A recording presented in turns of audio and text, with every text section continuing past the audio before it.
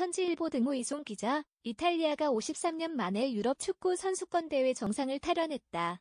이탈리아는 11일 현지 시간 영국 런던 웸블리 스타디움에서 열린 2020 유럽 축구 선수권 대회 유로 2020 결승에서 1대1로 승부를 가리지 못해 이어진 승부차기에서 잉글랜드를 3위로 이겼다. 이탈리아가 유럽 축구 정상에 선 것은 1968년 대회 이후 53년 만이다. 잉글랜드 대표팀의 루크 쇼가 경기 시작 2분 만에 골을 넣은 후 1대 0으로 앞섰으나 이후 이탈리아의 보누치가 후반 22분에 동점골을 넣으면서 연장전까지 120분 동안 승부를 내지 못했다. 이어진 승부차기에서는 이탈리아의 도메니코 베라디, 레오나르도 보누치, 페데리코 베르나르데스키가 골을 넣었으며 막판에는 골키퍼 잘루이지 돈나룸마가 두 골을 막았다.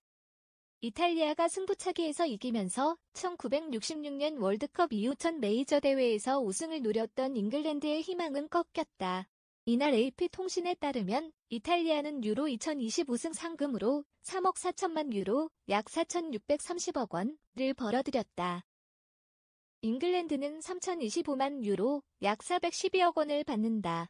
유로 2020에 참가한 24개 팀 각각은 조별리그에서 이기거나 무승부를 거둬 각 토너먼트 라운드를 통과한 데 따른 보너스와 함께 기본 925만 유로, 126억 원을 보장받았다.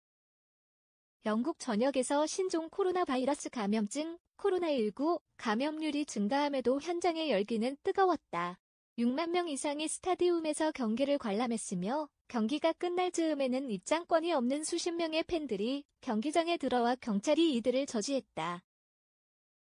영국 윌리엄 왕세손과 부인 케이트 미들턴 왕세손빈, 이들의 아들 조지 왕자도 이번 경기를 관람했다. 윌리엄 왕세손은 경기 후 이탈리아에게 축하를 보내며 잉글랜드 선수들에게는 그들의 노력에 대해 스스로 자랑스럽게 여겨야 한다고 말했다.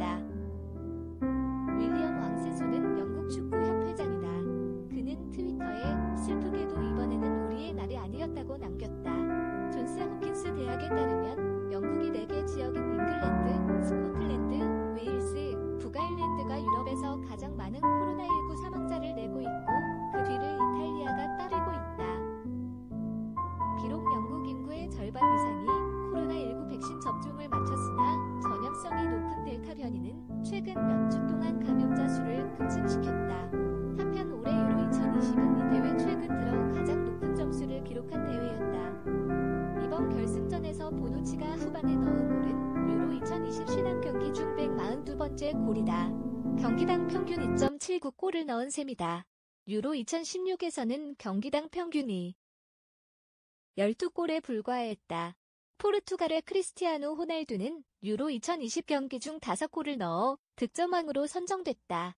호날두는 체코의 파트리크 쉬크와 같은 골 수를 기록했으나 도움골이 있었기 때문에 이 상을 받을 예정이다.